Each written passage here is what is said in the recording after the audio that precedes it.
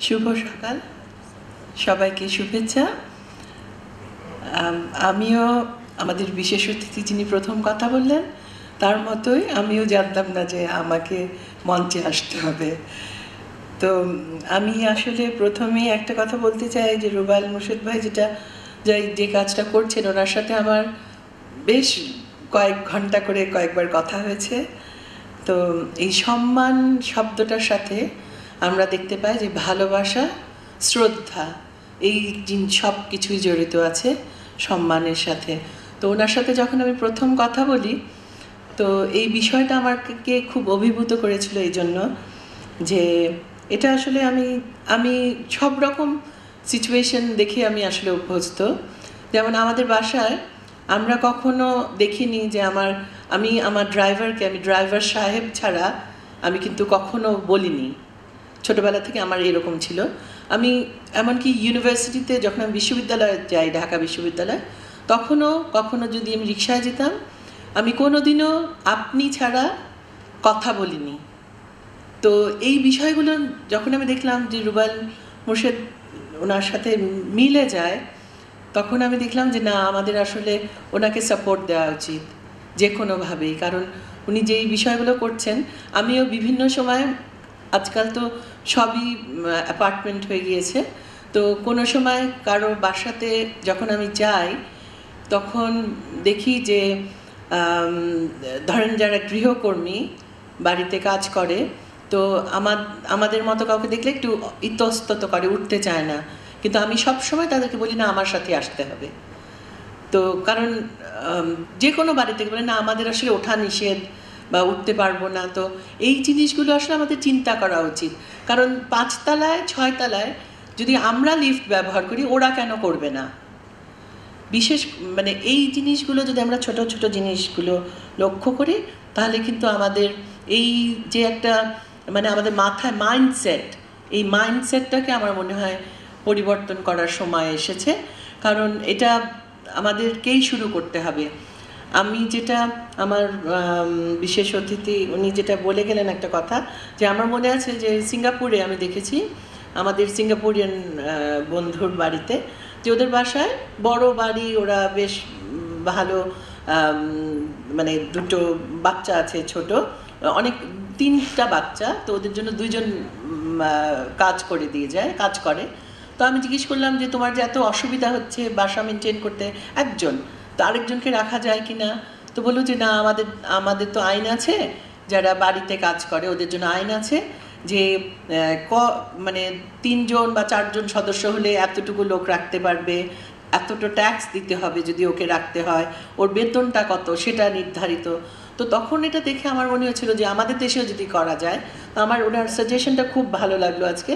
যে আমাদেরও ওই ধরনের একটা কিছু হওয়া উচিত। যেমন আমার নিজের কিছু একটা অভিজ্ঞতা আমি শেয়ার করতে চাই, যে আমার আমার দেশের একজন একটা ছেলে, ও কিছু পড়ালেখা জানতো, তো ইউরোপের একটা দেশে, আমাদের দেশে, বাংলাদেশ থেকে একজন অ্যাম্বাসেডার উনি হাই কমিশনার উনি যাচ্ছেন।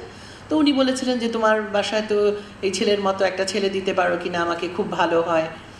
ইনফ্যাক্ট আমার বাসায় আমাদের বাসায় যেই ছেলেটা ছিল ছেলে বলছি এখন কিন্তু সে বিয়ে করেছে বাচ্চা আছে তার ছেলে এবার এইচএসসি এসএসসি পরীক্ষা দিল তো আহ, এখনও আছে।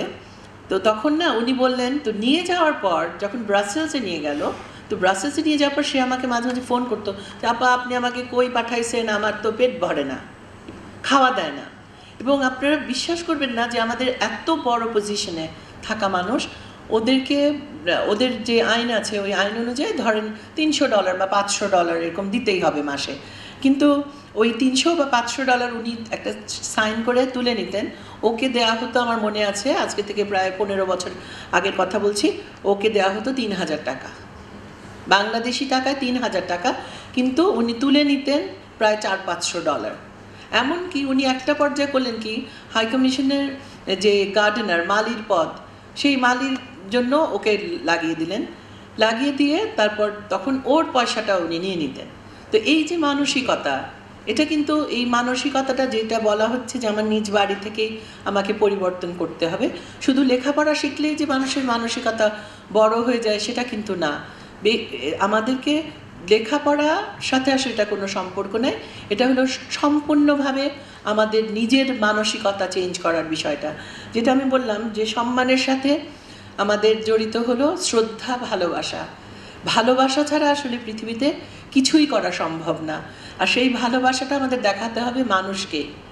কারণ আমাদের প্রত্যেকেই এটা জানা, আমরা এটা বুঝি, আমরা ভুলে যাই যে আমাদের যখন জন্ম হয়, আমাদের মরে যেতেই হবে। তো এই সময়টাকে আমরা যদি সবচাইতে সুন্দরভাবে না পার করি, আমার অজান্তে, আমার পেছনে যদি কেউ আমাকে গাল দেয় তো আমার তো মনে হয় ওরকম লজ্জার জীবন নিয়ে আমি বাঁচতে চাই না। তো এই জন্য আমরা যদি এই বাড়িতে যারা কাজ করে, তাদের জন্য যদি আমরা একটু সহানুভূতি, একটু মায়া এবং আমাদের মতো করে দেখলে আমি তো মনে করি না কোনো অসুবিধা আছে। যেমন আমার খুব গর্ব করে আমি বলতে পারি, আমার আমার যে ড্রাইভার, আমার সাথে আছে উনিশশো সাতাশি সাল থেকে এবং তার ছেলে, ও অ্যাকাউন্টিংয়ে পাশ করেছে, একটা প্রাইভেট কোম্পানিতে কাজ করে। ওর মেয়ে ফ্যাশন ডিজাইনিংয়ে এবার ভর্তি হয়েছে অনার্সে তো আমি কিন্তু আমার, যারাই আমার সাথে আছে, এমনকি আমার মায়ের সাথে মার যে সেবা করতো, আমি যখন আম্মা চলে যাওয়ার পর সে যখন আর, কিছুদিন থাকল আমার সাথে, পরে একসময় বাড়ি চলে গেল। একটা পেনশন যেরকম দেয়, আমি তার জন্য এতটুকু নিশ্চয়তা দিয়েছি বা নিশ্চিত করেছি। এখনও আমি করে যাচ্ছি যে তার ওষুধপত্র কিনতে যতটুকু পয়সা লাগে, যেন তার বাড়িতে কারও কাছে না চাইতে হয়, সেটুকু আমি নিশ্চিত করেছি। এবং এরকম একজন না।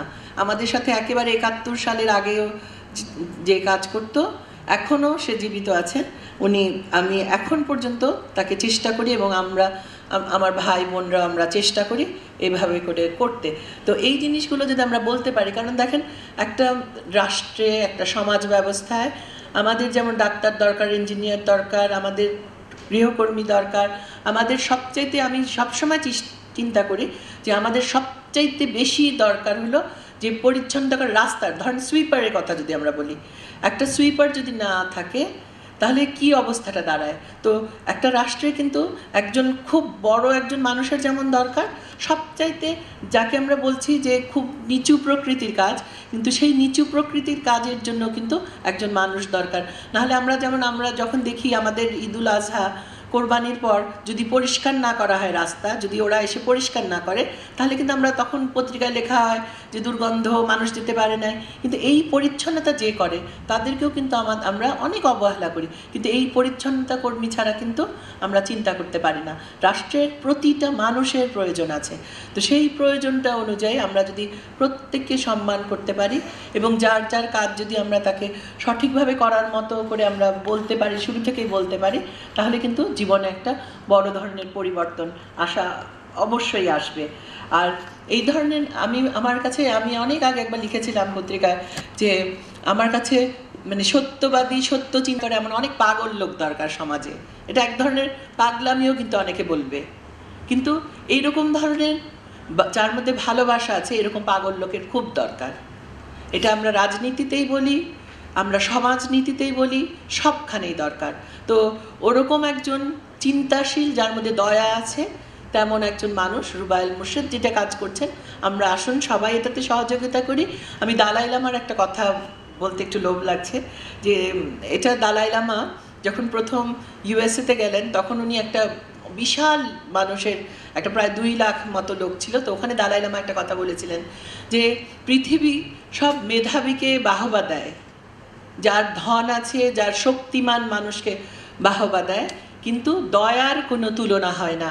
যার মধ্যে দয়া নেই, তার যতই জ্ঞান থাকুক, সে যত বড়ই মানুষ হোক, সেই মানুষ কিন্তু আসলে সমাজের কোনো উপকারে আসতে পারে না।